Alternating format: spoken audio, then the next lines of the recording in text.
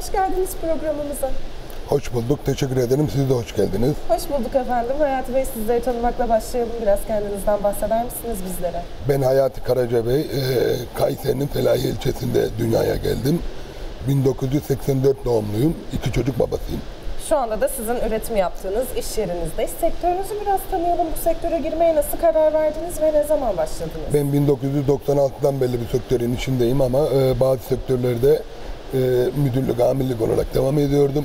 Sonradan kendi iş yerimi kurmaya karar verdim ve 3 yıldır kendi imalatımı yapıyorum.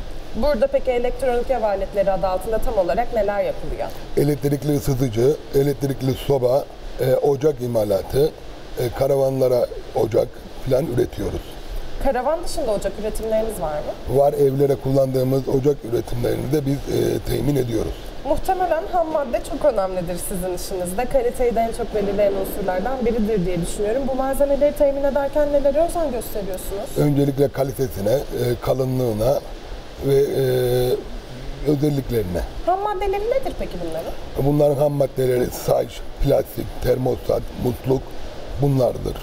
Kaliteli bir şekilde insanların Evet. hizmet almasını sağlıyorsunuz bu şekilde. Peki şu anda üretim halinizi görüyoruz. Burada kaç kişilik bir ekiple hizmet veriyorsunuz ve ekip arkadaşlarınızı seçerken nelere özen gösteriyorsunuz? E, 10 kişilik bir mevcudumuz vardır. 3 yıl içinde bu devam ediyor ama bu gittikçe e, eleman sayısını yükselteceğiz. Dilerim ki çok daha büyük bir şekilde işlerinizi sürdürmeye devam edersiniz. İşinizle ilgili ben şunu da merak ediyorum.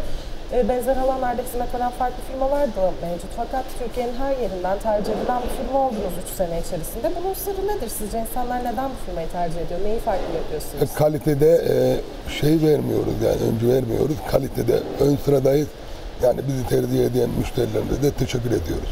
Biz teşekkür ediyoruz bizleri ağırladığınız için ve sektörünüzle ilgili bilgileri paylaştığınız için. Programımızın sonuna geldik. Son olarak seyircilerimize neler söylemek istersiniz bunları da alalım. E, bizi tercih ettikleri için onlara teşekkür ediyorum. E, Hoşçakalın.